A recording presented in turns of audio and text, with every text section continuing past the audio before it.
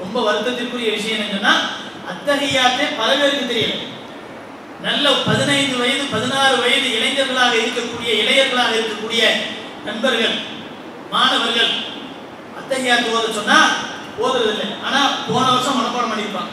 இந்த வருஷம் தெரியல. என்னன்னு கேட்டா மறந்துட்டேன். தொழுகையா இல்லையாப்பா? தொழுகையில வருது ஆனா இங்க வர மாட்டேங்குது தொழுகையில வரலாம் இங்க வர மாட்டேங்குது அது எப்படி வராம இருக்கும்?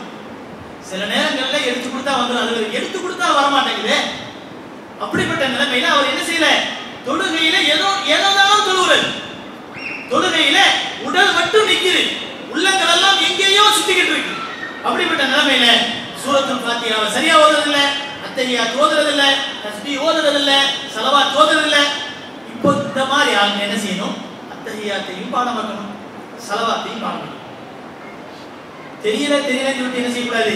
போயிட்டே இருக்கக்கூடாது தெரியலைன்னா தொழுவ கூடியிருங்க அப்படின்னு சொல்லிடுவாங்க.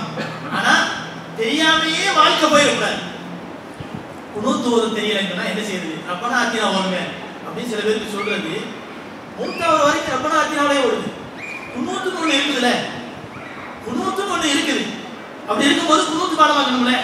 இது தெரியலைங்கன்னா ரப்பி ஜானி முக்கியமான சலாத் குரான்ல வரக்கூடிய ரப்பனா ஆத்தினா ஓதுங்க இல்லாட்டி ரப்பி ஜானி முக்கியமான சலாத் இந்த மாதிரியான துவாக்களை ஓதிக்கிறீங்க அதுவும் துவாய மாசுரா தான் குரான்ல வரக்கூடிய துவா தான் அப்படின்னு சொன்னா ஆ பரவாயில்லை நமக்கு சலுகை கிடைச்சிருச்சுன்னு சொல்லிட்டு அந்த குடும்பத்தை பாடமாக்காம மௌத்து வரைக்கும் ரப்பனா ஆத்தினாவையும் ஓட்டக்கூடியவங்களாம் நிறைய பேர் இருக்காங்க அப்படி அல்ல அல்லாஹ் குர்ஆன்ல அல்லாஹு தஆலா மார்க்கத்துல இன்னன்னதுக்கு இதுதான் ஓதணும் அப்படிங்கிற விவரத்தை நமக்கு உண்டாக்கிட்டது இருக்கும்போது அதை விட்டுட்டு ஒரு பகரத்தையே பிடிச்சிட்டு கூடாது உடல்நலம் சரியில்லை தண்ணியை புழக்க முடியாதுன்னா தயமம் செய்யலாம் அப்படிங்கிறதுக்காக வேண்டி வாழ்க்கை முழுவதும் தயமம் செய்யலாமா?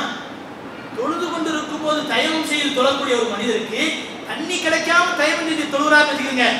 தண்ணியே கிடைக்கல. இந்த பகுதி முழுவதும் தண்ணி கிடைக்கல. அவர் தயமம் செய்து தொழுகிறார். தொழுது கொண்டு இருக்கும்போது ஒருத்தர் வாய் நிறைய தண்ணி கொண்டு வருவது தெரிஞ்சா கூட உடனே தயமம் முடிஞ்சிடும். தண்ணியை பார்த்த உடனே தொழுகையில தண்ணியை பார்த்த உடனே உடனே என்ன செஞ்சிடும் அந்த தயமும் முடிஞ்சு போயிடும். அப்ப தொழுகை முடிஞ்சு போயிடும்.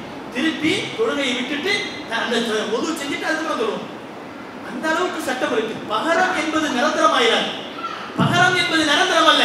ஆனா நம்ம என்ன செய்யறோம்? பகரத்தையே நிரந்தரமாக்குறோம்.